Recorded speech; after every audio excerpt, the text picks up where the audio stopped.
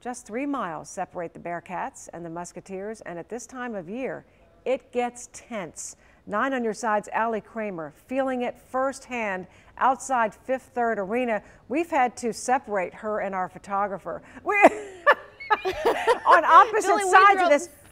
You two have got to work together. Separately today, Julie, because uh, we needed a little space and we've been heckling each other all morning about it. And photographer Dwayne Slavy, who's behind the camera right now, says, What you don't know is I already have my blue body paint on underneath this. It is too early for that because the game is not until tomorrow afternoon. But you know what?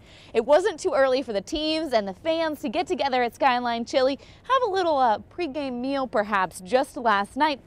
Of course, it's kind of that friendly rivalry feeling. Yeah, that's all going to change. It will not feel like that on Saturday afternoon on the hardwood. You know that those students and the alumni, they're going to be up early. They're going to be in line to get some of the very best seats. You know, Xavier's actually on a pretty good winning streak, winning four of the last five matchups, but UC winning just two years ago.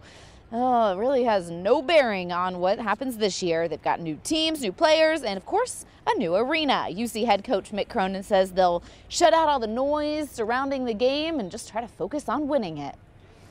You, you got to focus on what's going on between the lines because that's what decides the game. The other stuff's ancillary. It really is. Two years ago, we out rebounded them, we won handily.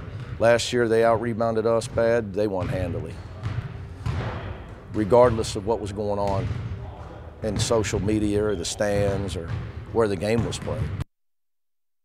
All right, so it's time to dig out, you know, your old jerseys, maybe a Kenyon Martin jersey. I'm pretty sure that's the oldest one that I still have, but you still also have time to get tickets to the game. I've been looking this morning. The cheapest ones I can find for standing room, only 55 bucks. Guys, the game tomorrow at 2. Reporting live this morning from the new Fifth Third Arena, Allie Kramer, Nine on your side.